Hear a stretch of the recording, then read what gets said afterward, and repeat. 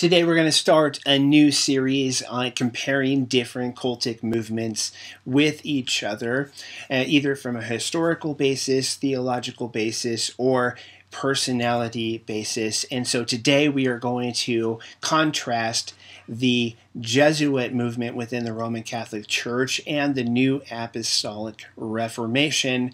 And thank you to one of my subscribers who requested that I do some research. I did some digging, and here's what I've got for you. First of all, the Seven Mountain mandate of the New Apostolic Reformation very much mirrors, uh, by many, the Jesuit counter Reformation tactic and approach. Number two, oh, and just on number one, for those of you who don't know, the Seven Mountain Mandate um, is a um, revelation that was given to one of the prophets and apostles of the New Apostolic Reformation movement, in which they believe that it was revealed to them that there are seven main uh, cultural centers uh, things like media, education, uh, etc., that the church needs to take prominence in and actually overtake and uh, take dominion in those areas. And when they do so, then Jesus will be able to come back. The church is actually setting up their kingdom, which is post millennial theology, and this is similar to the Jesuit Counter Reformation tactic. And uh, number two, they reject sola scriptura. Both groups, the Catholic Church does so through their belief in the Pope and him speaking ex cathedra, meaning um, that he is able to declare the very word of God and even supersede previous revelation. The New Apostolic Reformation believes in modern day apostles and prophets and that they can receive direct revelation, which is on par with the word of God and, in fact, um, in many ways supersedes the word of God.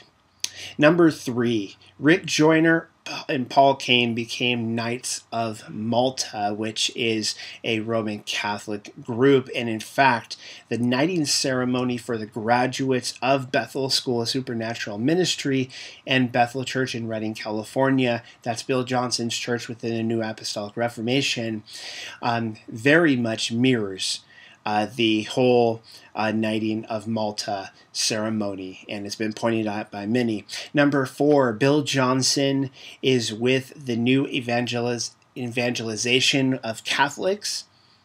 And uh, he has been seen uh, praying for the advancement of that movement.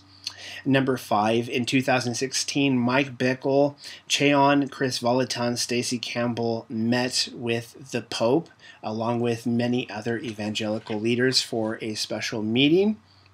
And then number six, Lou Engle participated in mutual prostration with a Roman Catholic leader, Matteo Calisi, and Calisi proposed a covenant between Engle and the Roman Catholic Church. So that's what I found in my little bit of digging. And so I'm curious if you know of other things, go ahead and leave those down in the comments below.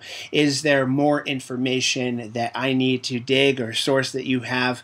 And also, are there other movements that you would like me to compare in terms of their cooperation, differences, similarities, uh, compare and contrast with each other? And so go ahead and leave all of that in the the comment section down below. And if you haven't already, subscribe to this channel. We are people of the free gift where we ground believers in their identity in Christ and equip them to reach those caught in religion. And if you like the content for the day, give this a thumbs up and share this with others in your life who enjoy materials who related to cults and how to share the gospel of Jesus Christ with them. And until next time, may God's grace be with you.